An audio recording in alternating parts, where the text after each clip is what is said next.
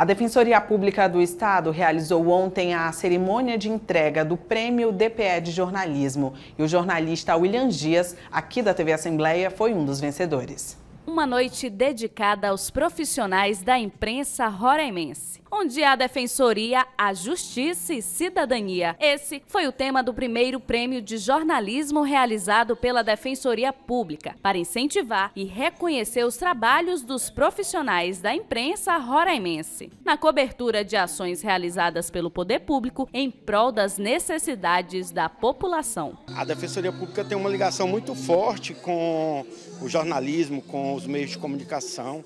Né? O trabalho que a Defensoria faz é voltado para a população mais vulnerável. Né? A gente está falando de mulheres vítimas de violência, é, de negros, de pessoas idosas, de pessoas com deficiência, de imigrantes. Então, assim, é uma pauta que está constantemente nos meios de comunicação. E nada mais justo que a Defensoria, diante disso, é, e do respeito que tem por esses profissionais, é, tivesse a ideia de criar esse prêmio né, para que a gente possa tratar dos mecanismos de divulgação desses direitos, né, seja no audiovisual, é, rádio, então é, é, é, fazer com que os jornalistas participem e mais do que isso, trazer também o acadêmico, trazer a academia para brilhar né, nessa premiação. Entre os vencedores estava o jornalista William Dias. Ele conquistou o segundo lugar na categoria Vídeo Profissional, com a reportagem especial Por Elas, Leis e o Trabalho da Rede de Proteção à Mulher em Roraima. A violência contra a mulher é um problema social e de saúde pública. A produção contou ainda com os cinegrafistas Emaxson Sarmento e William Santos e o assistente de câmera Leonardo Pinto. A vitória veio com um gostinho especial. O prêmio foi o primeiro conquistado pela TV do Poder Legislativo. A gente agradece sempre as nossas fontes de informação, as pessoas que contribuíram com esse material. A gente sabe que falar sobre violência doméstica não é fácil.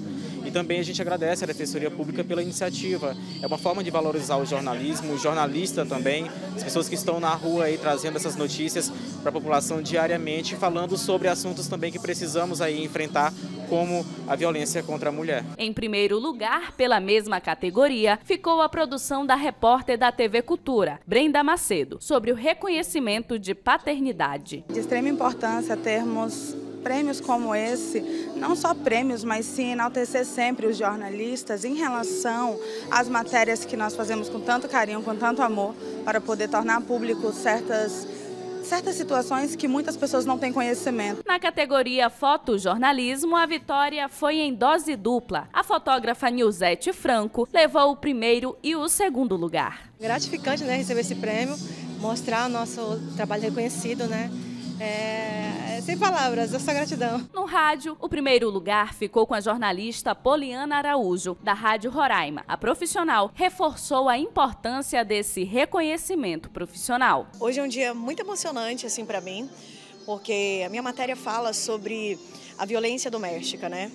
E a mulher vítima de violência, em muitos, muitos casos aqui no nosso estado, ela não tem uma voz que possa de fato chegar é, com clareza né, as nossas autoridades. E esse prêmio vem para fortalecer, fazer com que nós, como profissionais, produzimos, possamos produzir conteúdos de qualidade e para que essas mulheres possam nos ouvir e dar voz. Também foram premiados profissionais na categoria texto e universitários. Os vencedores do primeiro e segundo lugar das categorias profissionais, texto, áudio, vídeo e fotojornalismo, receberam troféus, certificado e premiação em dinheiro entre mil e dois mil reais. Já os universitários, o primeiro conquistou mil reais e o segundo quinhentos reais. A solenidade reuniu, além de profissionais na área, representantes do Sindicato dos Jornalistas de Roraima, professores do curso de jornalismo e autoridades da Defensoria Pública.